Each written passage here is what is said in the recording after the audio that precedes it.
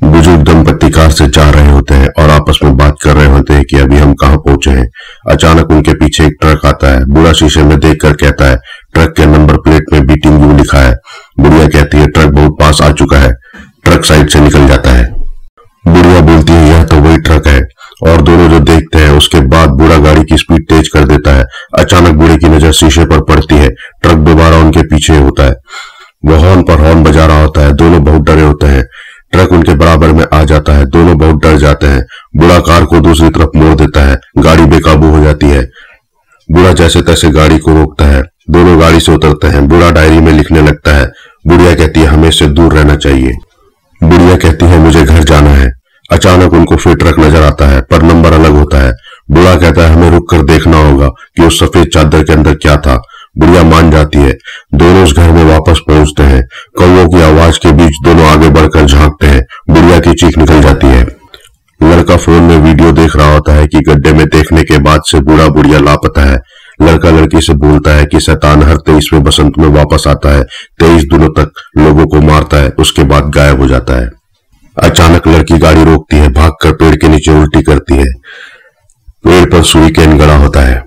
लड़का लड़की को प्रपोज करने के लिए सोच रहा होता है। शैतान रगड़ते हुए आगे बढ़ता है, खाता है और अपने पुराने रूप में आ जाता है। खेत के पुतले के पास जाता है। एक कार आकर रुकती है। लड़का उतर कर लड़की को फ़ोन करता है। बात करने के बाद वो टॉयलेट कर रहा होता है। कौवे काव काव कर रहे होते हैं। अचानक शैतान उसके पीछे आता है और मार देता है। लड़की के कार के पीछे कौवे आ जाते हैं। दोनों एक दुकान में रुकते हैं। लड़की चीज़ों को छूने से मना करती है। लड़के के हाथ में कुछ चुप जाता है। दुकान की मालकिन आ जाती है। लड़की पूछती है कि हम यह एड्रेस ढूंढ रहे हैं। वो कागज़ के नक्शे में एड्रेस समझा रही होती है। लड़की जैसे ही उसका हाथ पकड़ती है, उसको विजन होता है। दोनों जाने लगते हैं। औरत कहती है, बधाई हो। फिर लड़की से कहती है, लड़के को नहीं पता है क्या।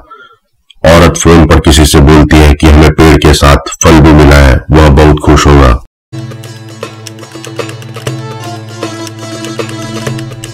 दोनों होटल पहुँचते हैं। लड़की गोरे को फ़ोन करती है, फ़ोन वॉइसमेल में जाता है। उधर शैतान अपने ट्रक में सामान देख रहा होता है।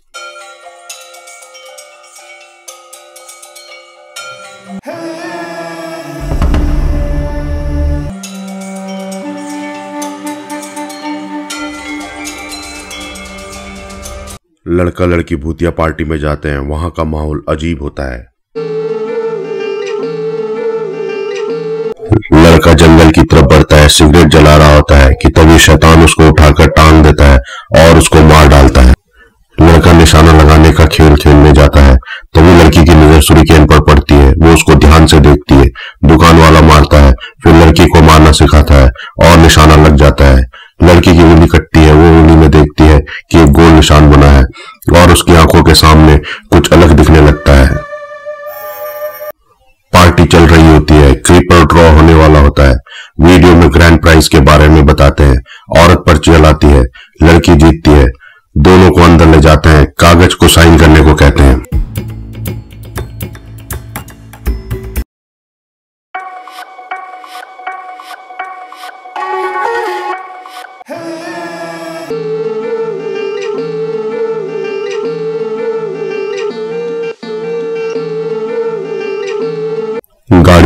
सब उतरते हैं। बूढ़ा बताता है, यह जगह बहुत पुरानी है और इस जगह को सबसे बड़ा भूतिया जगह माना जाता है।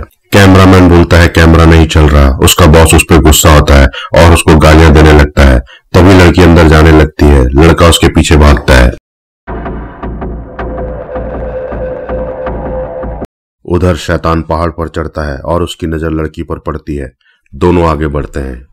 इधर कैमरामैन फ़ोन की लाइट जलाकर आगे बढ़ता है। दोनों को आवाज़ लगाता है। एक साय के पीछे जाता है। साया बढ़ता है। वो पीछे जाता है।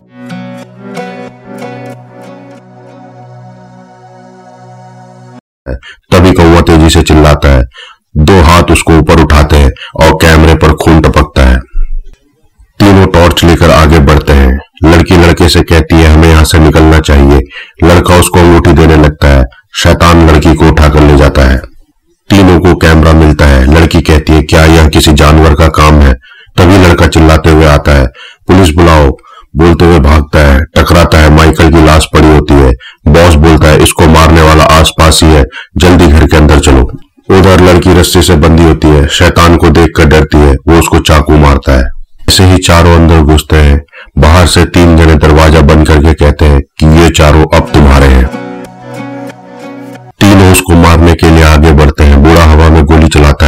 इधर शैतान चाकू निकालता है हवा में उड़कर ऊपर पहुँचता है।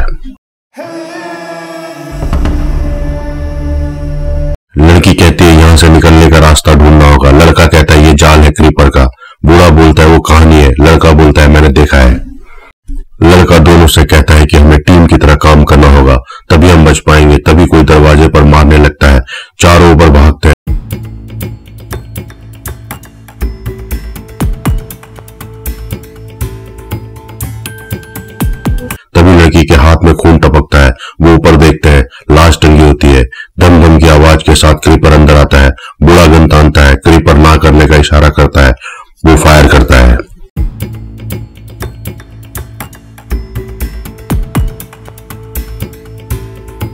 क्रीपर कुल्हाड़ी मारकर ज़ोर से चिल्लाता है, चारों के कान में दर्द होता है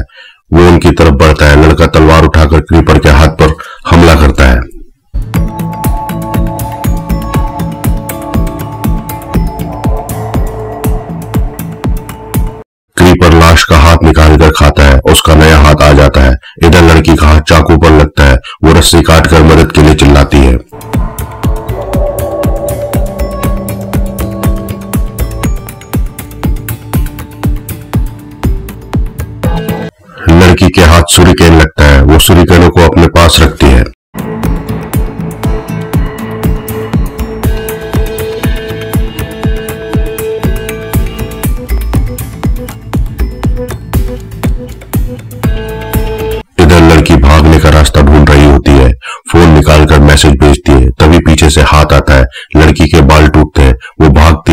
क्रीपर धीरे धीरे आगे बढ़कर गाना लगाता है। लड़का बोलता है, उससे बचने का एक ही रास्ता है कि उसके लोगों को मारने के दिन खत्म हो जाए। तभी छत से लड़की गिरती है। वो सब भागने का रास्ता ढूँढने लगते हैं। तभी लड़के को फ़ोन दिखता है। वो भागता है। उसके पैर क्लैंप में फंस जाते हैं। लड़का पुलिस को फ़ोन करता है। पुलिस वाली उसकी बात का विश्वास नहीं करती है। तभी क्रीपर चाकू फेंक कर फ़ोन काट देता है। फिर सब भागते हैं।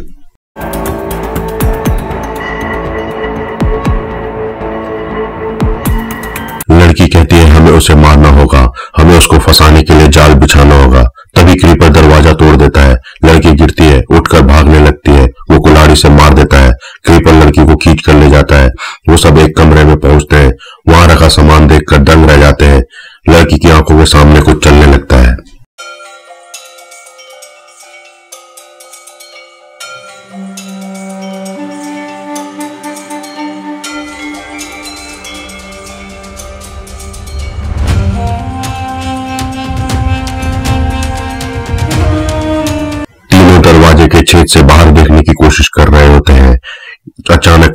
से चीखता है, सब नीचे गिरते हैं क्रीपर लड़की को लेकर भाग जाता है, फिर गाना लगाता है।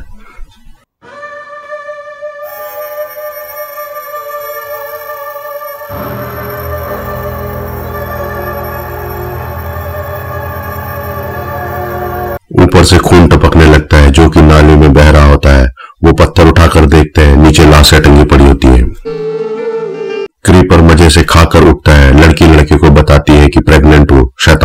पीछे पड़ा है, उसको मेरा बच्चा चाहिए। लड़का अखबार देखकर बताता है कि ये लोग उसको खिला रहे हैं। लड़की कहती है, मुझे मालूम है, हमें क्या करना चाहिए?